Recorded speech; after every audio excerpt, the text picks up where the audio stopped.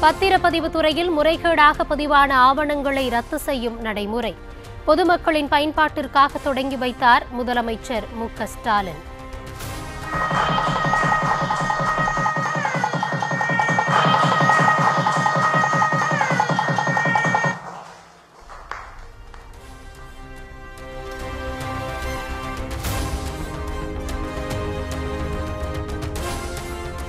புகழ்பெற்ற திருச்செந்தூர் முருகன் கோவிலில் முன்னூறு கோடி ரூபாய் மதிப்பிலான பெருந்திட்ட வளாகம்.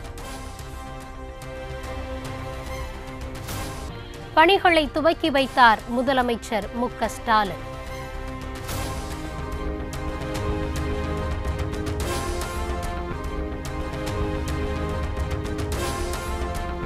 தேவையில்லாத வழக்குகளை தாக்கல் செய்வதாக கூறி தமிழக அரசுக்கு ஐந்து லட்சம் ரூபாய் அபராதம். பதிவாளர் அலுவலகத்தில் நான்கு வாரத்தில் அபராத தொகையை செலுத்தவும் உச்சநீதிமன்றம் உத்தரவு.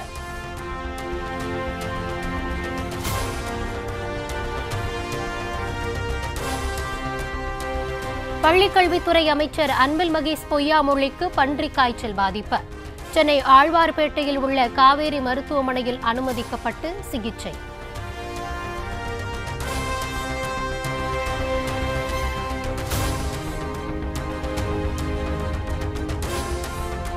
பாப்புலர் ஃப்ரண்ட் ஆஃப் இந்தியா அமைப்பிற்கு நாடு முழுவதும் தடை.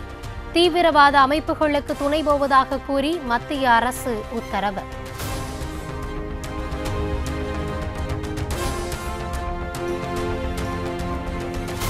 பிஎஃப்ஐ மற்றும் அதன் துணை அமைப்புகளுக்கு ஐந்து ஆண்டுகள் தடை. சட்டவிரோதமான இயக்கங்கள் எனவும் மத்திய அரசு அறிவிப்பு.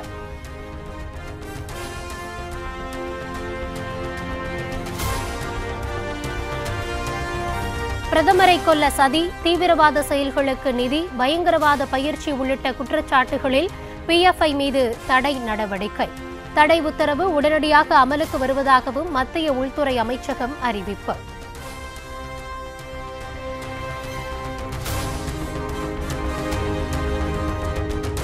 தமிழகத்தில் உள்ள பிஎஃப்ஐ அமைப்பின் அலுவலகங்கள் முன்பாக போலீசார் குவிக்கப்பட்டு பலத்த பாதுகாப்பு. அசம்பாவிதத்தை தவிர்க்கும் வகையில் சென்னையில் மட்டும் நான்காயிரம் போலீசார் பாதுகாப்பு பணியில் உள்ளதாக தகவல்.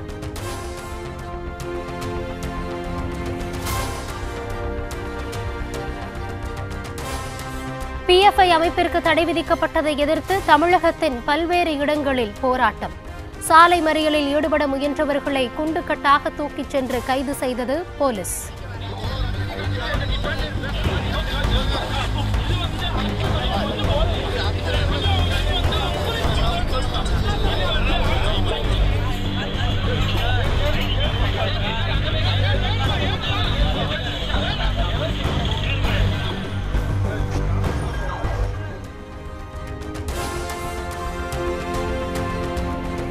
Popular front of India அமைப்பை தடை செய்ததற்கு கண்டனம். செய்துங்கநல்லூரில் சாலை மறியலில் ஈடுபட முயன்ற நூற்றுக்கும் மேற்பட்டோர் கைது.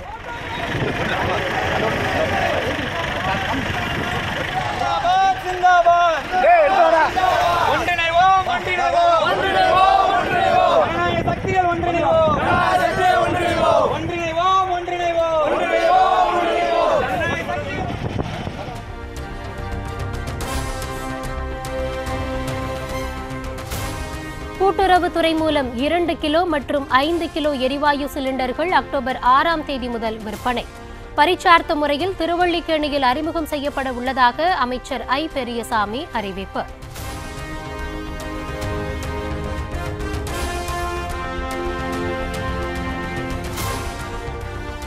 கடந்த வாரம் இ இன்று பள்ளி.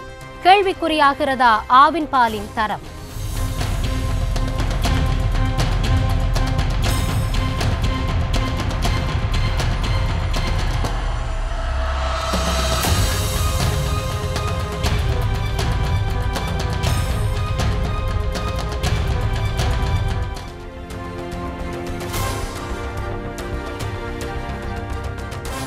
காந்தி ஜெயந்தி அன்று விசிக மற்றும் இடதுசாரிகள் கட்சிகள் இணைந்து நடத்தும் மனித சங்கிலி. நல்ல நோக்கத்தின் அடிப்படையில் நடைபெறுவதால் தாங்களும் பங்கேற்பதாக நாம் தமிழர் கட்சி அறிவிப்பு.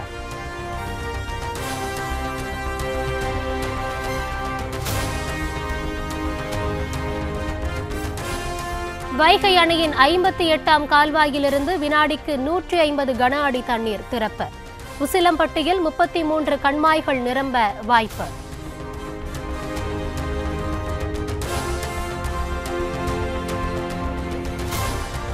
புதுச்சேரி மின்சாரத்துறையை தனியார் மயமாக்கும் முயற்சிக்கு எதிர்ப்பு. மின் அலுவலக வாயில் கதவை பூட்டி ஊழியர்கள் ஆர்ப்பாட்டம். தனியார்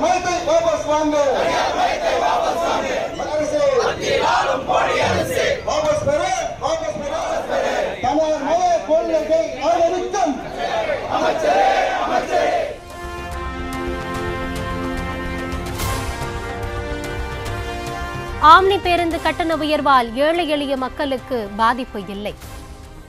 அவர்கள் தெரிந்தே இந்த வாகனத்தில் கூடுதல் கட்டணம் என்று பயணம் செய்கிறார்கள். அதற்கான வசதிகளோடு பயணம் செய்கிறோம் என்ற எண்ணத்தோடு அவர்கள் பயணம் செய்கிறார்கள். தெரிந்துதான் அந்த கட்டணத்தை பார்த்துவிட்டு தான் அவர்கள் அந்த ஆப் மூலமாக அந்த பேருந்து சேவையை உறுதி செய்து புக் செய்து பயணம் செய்கிறார்கள். எனவே அவர்கள் புகார் செய்ய முன்வரவில்லை. எனவே ஏழை எளிய மக்களுக்கான பாதிப்பு இது கிடையவே கிடையாது. நூதன விளக்கமளித்த போக்குவரத்து துறை அமைச்சர் சிவசங்கர்.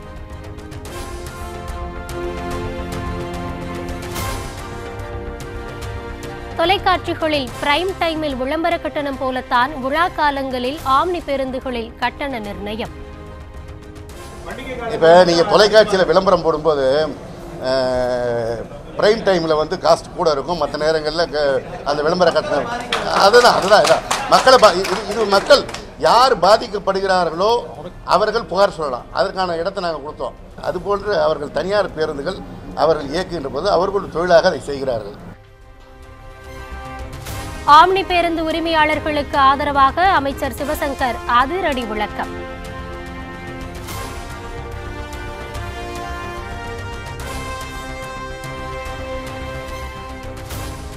ஆம்னி பேருந்துகள் ஒப்பந்த அடிப்படையில் இயக்கப்படுவதால் கட்டண வரம்பு நியமிக்க முடிவதில்லை. அவங்க வந்து கட்டணத்தை ஒரு நிர்ணயம் பண்ணியிருக்காங்க.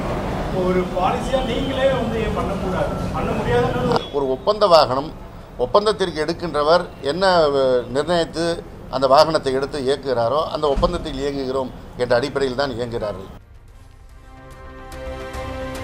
கைவிரித்த போக்குவரத்து துறை அமைச்சர் எஸ் எஸ் சிவசங்கர்.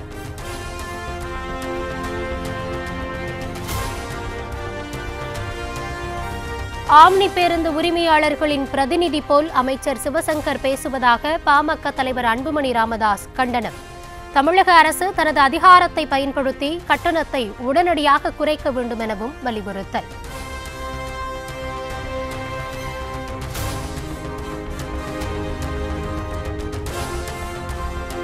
ஆர்எஸ்எஸ் ஊர்வலத்திற்கு அனுமதி வழங்க பிறப்பித்த உத்தரவை எதிர்த்த திருமாவளவனின் மேல்முறையீட்டு மனு விசாரணைக்கு உகந்தது அல்ல.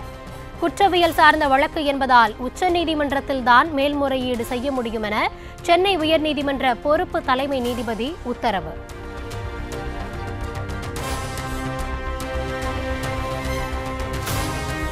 பெரம்பூரில் தயாரிக்கப்பட்ட ஒரு வந்தே பாரத் ரயில் தெற்கு ரயில்வேக்கு ஒதுக்கீடு. சென்னையிலிருந்து மதுரை பெங்களூரு அல்லது கோவைக்கு இயக்கப்பட வாய்ப்பு.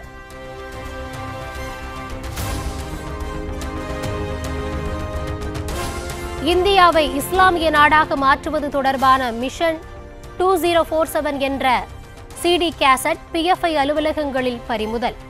ஐஇடி வெடிகுண்டுகளை தயாரிக்கும் முறைகள் தொடர்பான ஆவணங்களும் சோதனையின் போது பறிமுதல் என என்ஐஏ அதிர்ச்சி தகவல்.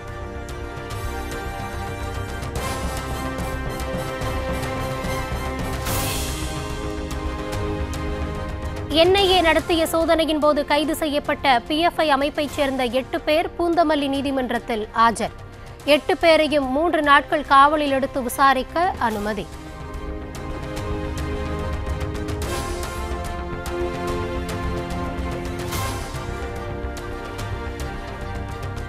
கடலூர் அருகே மாமியாரை பெட்ரோல் ஊற்றி எரித்த மருமகள் கைது.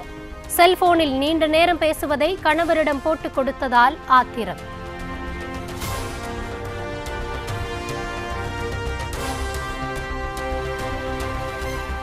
சேலம் அருகே மலைகளை குடைந்து சட்டவிரோதமாக வெட்டி கடத்தப்படும் வெள்ளை கற்கள். நள்ளிரவு வேளையில் இரு திருட்டு கும்பல்களுக்கு இடையே மோதல் ஏற்பட்டதால் பரபரப்பு.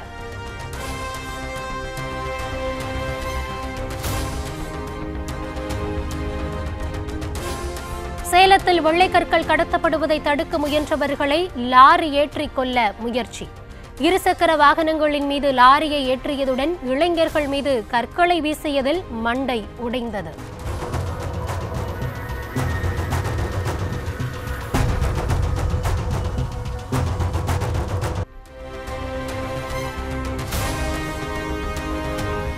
வெள்ளைக்கல் கடத்தலை தடுக்கவில்லை என்றால் சட்டமன்றத்தில் உண்ணாவிரத போராட்டம் நடத்தப்படும் என பாமக எம்எல்ஏ அருள் அறிவிப்பு.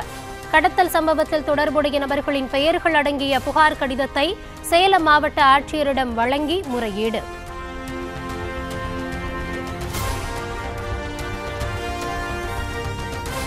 புதுக்கோட்டை மாவட்டம் கரம்பக்குடி அரசு கலை அறிவியல் கல்லூரி மாணவர்கள் வகுப்பை புறக்கணித்து போராட்டம். பேராசிரியர் பற்றாக்குறை உள்ளிட்ட பல்வேறு கோரிக்கைகளை முன்வைத்து கோஷம்.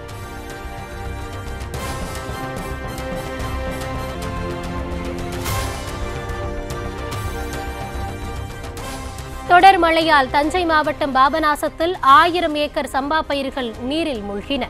பயிர்கள் வீணாவதை தடுக்கும் பொருட்டு மழைநீரை வடிய வைக்கும் முயற்சியில் விவசாயிகள்.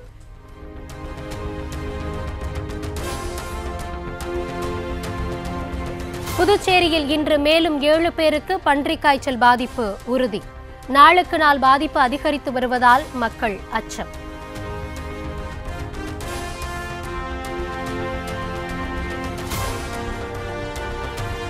சேலத்தில் பொதுமக்களின் வாகனங்களை தீயிட்டு கொளுத்திய வெள்ளைக்கல் கடத்தல் கும்பல். வெள்ளைக்கல் கடத்தலுக்கு இடையூறு செய்ததால் வெறிச்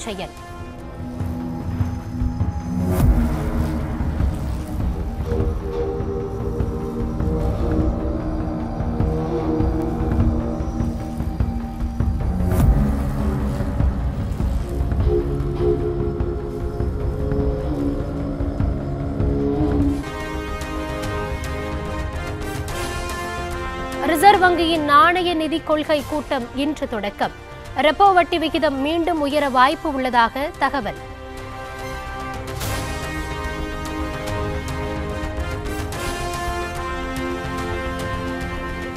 கிருஷ்ணகிரியில் தனியார் நிலத்தில் உள்ள கருப்பசாமி கோவிலை இடிக்க பொதுமக்கள் எதிர்ப்பு.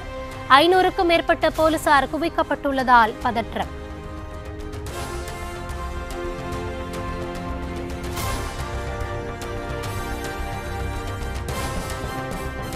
இந்திய ரூபாயின் மதிப்பு வரலாறு காணாத வகையில் வீழ்ச்சி. ஒரு அமெரிக்க டாலர் எண்பத்தி இரண்டு ரூபாய் என்ற நிலைக்கு சரிந்ததால் அதிர்ச்சி.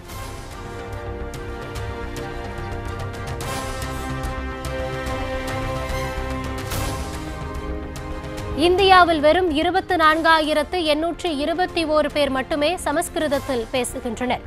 நாட்டின் பெருவாரியான மாநிலங்களில் உருதுமொழி பரவலாக பேசப்படுவதாக மத்திய அரசு தகவல்.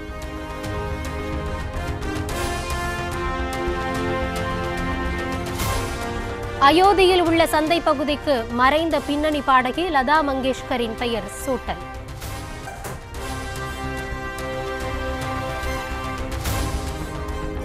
நமீபியா நாட்டில் இருந்து கொண்டு வரப்பட்ட சிறுத்தைகளை வேட்டைக்காரர்களிடம் இருந்து பாதுகாக்க நடவடிக்கை. ஜெர்மன் ஷெப்பர் நாய்களுக்கு இந்தோ திபெத் எல்லை பாதுகாப்பு படை காவலர்கள் பிரத்யேக பயிற்சி.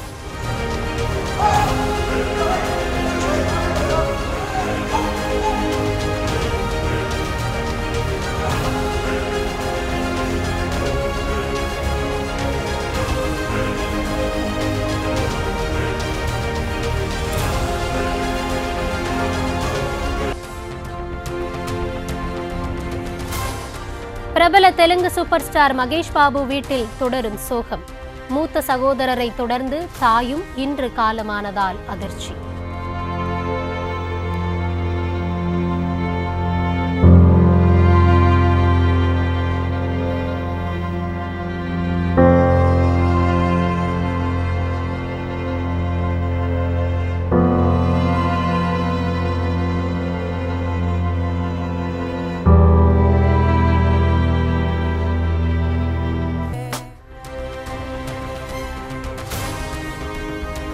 ஸ்நேகம் பவுண்டேஷன் யாருக்கு சொந்தம் என்பது தொடர்பான சட்ட போராட்டம் நடிகை ஜெயலட்சுமி அளித்த புகாரில் பாடலாசிரியர் ஸ்நேகன் மீது வழக்கு பதிவு செய்ய சென்னை நீதிமன்றம் உத்தரவு.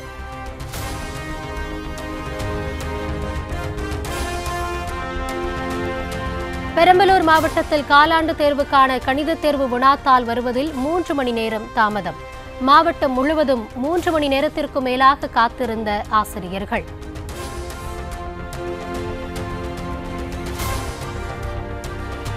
காஞ்சிபுரம் அருகே இருசக்கர வாகனம் மீது கல்குவாரி லாரி மோதி விபத்து.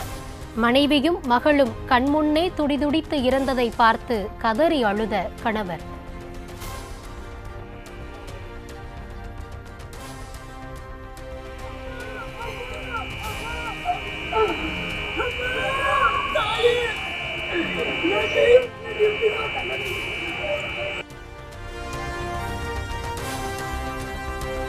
சென்னை தாம்பரம் அருகே காட்டுப்பகுதியில் பதுங்கியிருந்த பிரபல ரவுடி சச்சினை சுட்டு பிடித்த போலீஸ்.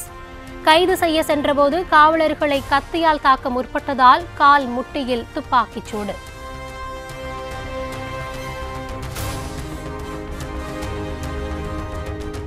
விஸ்வரூபம் எடுக்கிறது தென்காசி வடக்கு மாவட்ட செயலாளருக்கான திமுக உட்கட்சி தேர்தல்.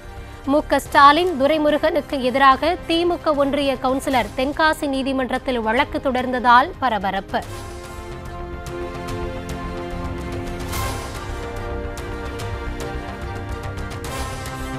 தென்காசி வடக்கு மாவட்ட செயலாளருக்கான உட்கட்சி தேர்தலை தென்காசியில்தான் நடத்த உத்தரவிட வேண்டும்.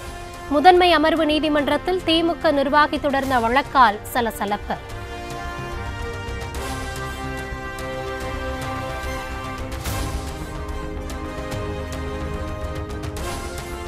தென்காசி வடக்கு மாவட்ட செயலாளர் பதவியை நாடாளுமன்ற உறுப்பினர் தனுஷ்குமாருக்கு வழங்க எதிர்ப்பு. தற்போதைய மாவட்ட பொறுப்பாளர் செல்லதுரை ஆதரவாளர்கள் போர்க்கொடி.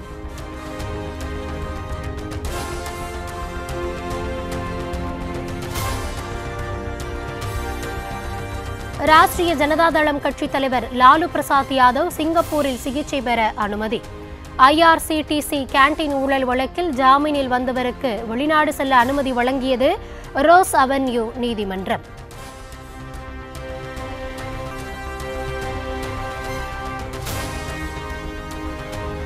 பிக்பாஸ் சீசன் சிக்ஸ்டீன் நிகழ்ச்சியை தொகுத்து வழங்குவதற்கு ஆயிரம் கோடி ரூபாய் சம்பளமா? இந்தி நடிகர் சல்மான் கான் விளக்கம்.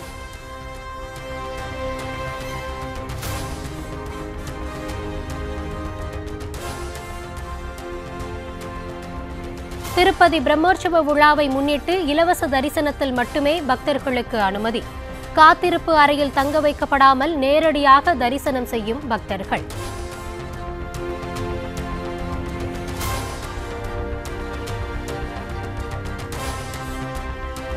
இந்தியா தென்னாப்பிரிக்க அணிகள் மோதும் முதலாவது டி டுவெண்டி கிரிக்கெட் போட்டி.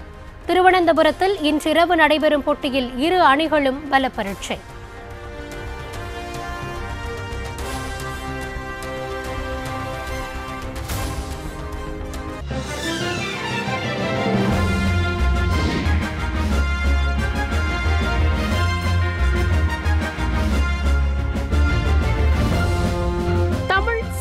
நாளின் புதிய அடையாளமாக.